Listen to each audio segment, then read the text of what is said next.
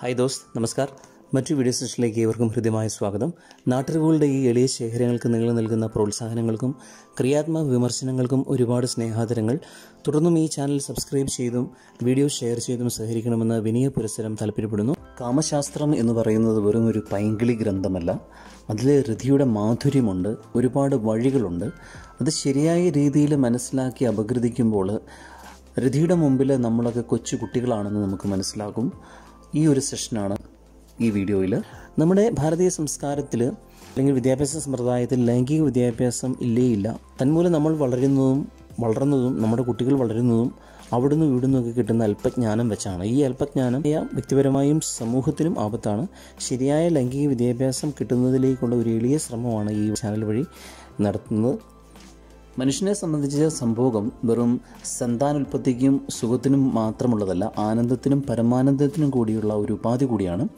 സുഖത്തിനും സന്തോഷത്തിനും അപ്പുറമുള്ള ഒരു മാനസിക വികാരമാണ് നിർവചിക്കാനാവാത്ത ഒരു അനുഭൂതിയാണ് യഥാർത്ഥത്തിൽ പരമാനന്ദം എന്ന് പറയുന്നത്.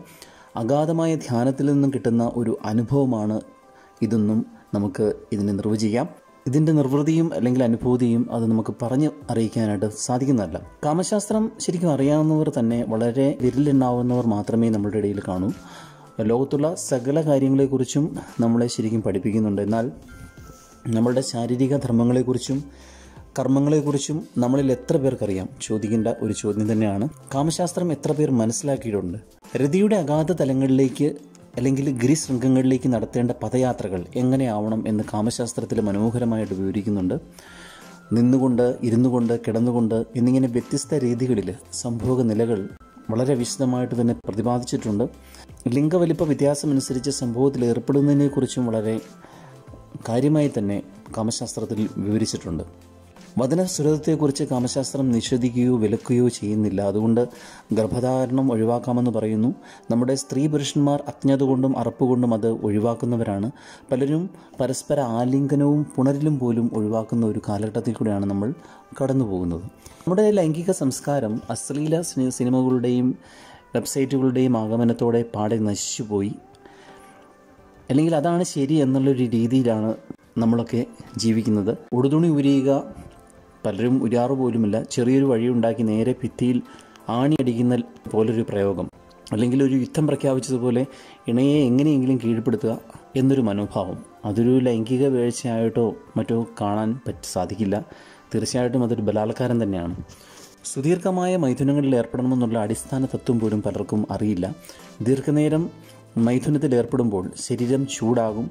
ശരീരം ചൂടാകുമ്പോൾ ശുക്ലം അതിന്റെ തനി പ്രകൃതി വിട്ട് ഊർജം ഉൾക്കൊള്ളുന്നു. രതിമൂർച്ച സമയത്ത് ഈ ശുക്ലത്തിന് തന്റെ സ്വന്തം ശരീരത്തിനും ഇണയുടെ ശരീരത്തിനും ചില ഊർജ മാറ്റങ്ങൾ വരുത്തുവാനാകും എന്നുള്ളതാണ് സത്യം.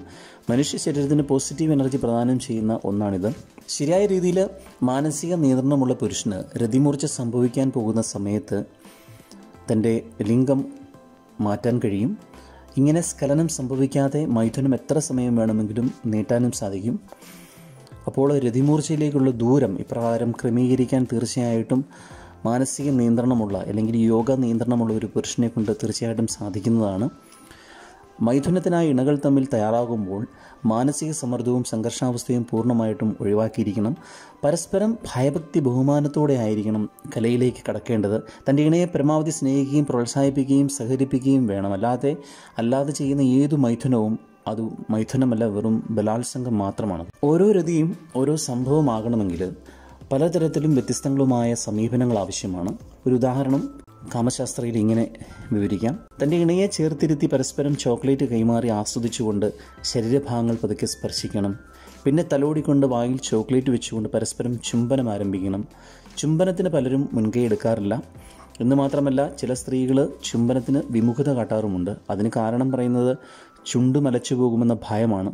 ആദ്യം ഇത്തരം ഭയങ്ങൾ പാടെ മാറ്റിവെക്കുക. നാം ഒരു പ്രക്രിയയിൽ ഏർപ്പെടുമ്പോൾ പരമാവധി അത് നന്നാക്കാൻ ശ്രമിക്കുക എന്നുള്ളൊരു ഒരു പ്രാഥമിക കാര്യമുണ്ടല്ലോ. തന്റെ ഇണയുടെ ആനന്ദമാണ് എനിക്ക് വേണ്ടത് എന്ന് പരസ്പരം മനസ്സിലാക്കി പ്രവർത്തിക്കണം. അതിനായി ധ്യാനിക്കണം മനസ്സൊരുക്കണം.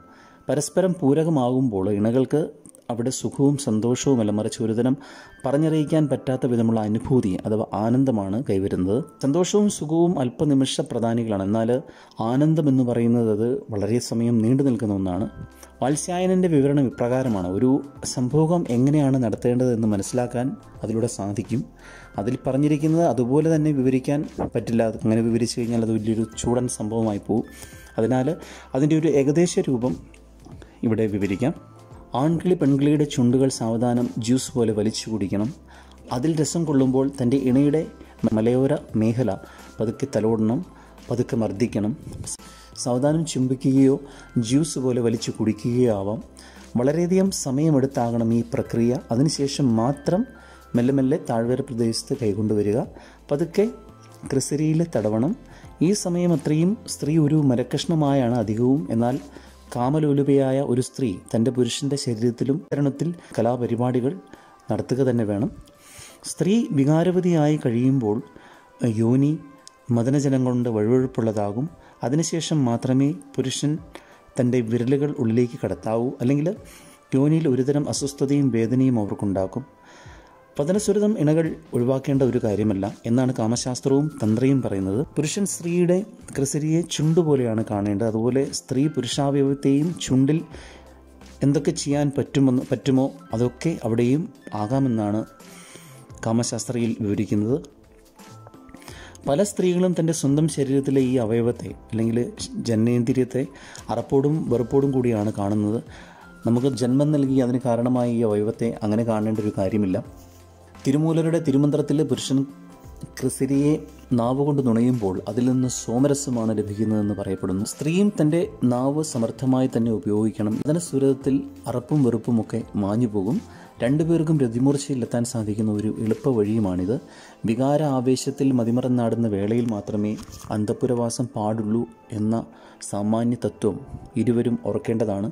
രതിമൂർച്ച സമയത്ത് പുരുഷന് വെളുത്ത ശുക്ലം സ്കലിക്കുന്നത് പോലെയുള്ള അനുഭവം ഉണ്ടാകും. എന്നാൽ സ്ത്രീകളിൽ തത്തുല്യമായൊരു പ്രക്രിയ നടക്കുന്നില്ല. പലർക്കും അറിയില്ലാത്തൊരു സംഗതിയാണത്.